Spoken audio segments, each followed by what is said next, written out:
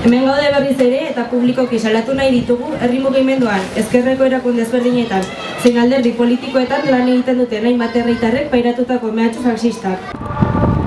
Lizarran ezker batuko egoitzan sartu dira, ahal izan duten guztia suntsituz eta plastikozko pistola bat utziz bertan. Horrez gain, larragan pintada faxistak egin dituzte, Euskarazko kartel zein maderolak zituzten zenbait etxetan. Iritsi da garaia faxismoari aurre egingo dion erantzun irmo eta kolektiboa emateko. Gaur Lizarraldeko eragile politiko, sindikal, sozial eta herrigileetako kideok aurre egingo diogu faxismoari. Zan ere, jendartarekiko duen jarrera autoritarioa baztertzen dugu. Xenofobia, patriarkatua, arrazakeria eta euskarafobiaren defentsa salatu nahi dugu. Eta baita berastasun oro pilatzen duten gutxiengo horren babesa ere. Faxismoari ez zaiolako eztabaidatzen, borrokatzen zaio.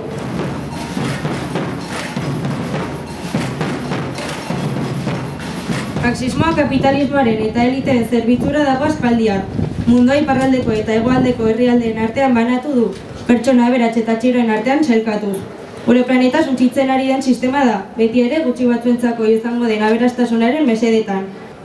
Eta borroka hori langile klase antolatuaren bitartez egingo da, proiektu bateratu eta demokratiko baten bitartez. Autodefentsa, komite eta herri erakundek egingo dute, auzo, herri eta hirietan.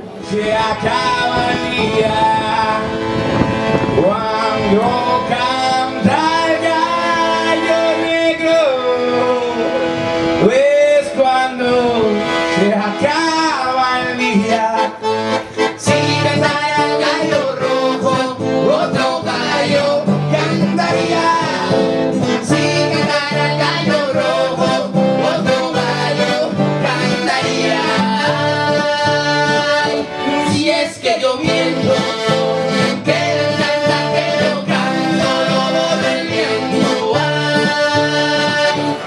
Bateragune feminista, ekologista eta antirrazista baten bitartez borrokatuko dugu. Horrotoaren normalizazioa baztertu eta suntsituko duen akordean bitartez. Hala da, edozein mortizkeria motor buiatzen dugu. LGTBIQ plus kolektiboen, etorkinen, feministen, langileen zein ezkerreko jendearen aurkako edozein diskurtso eta bortizkeria buiatzen dugu. Era berean, gaurko elkarterratze honetan, Euskararekiko gorrotoari aurke egiten diogu. Ez diogu utziko kapitalismoari antolakunde faxistak elikatzen jarrai dezan. Ez diogu utziko gure eskubidak babesten dituen jendartea zapaltzen. Horregatik, demokrazia eta bakearen alde borrokatzen jarraituko dugu.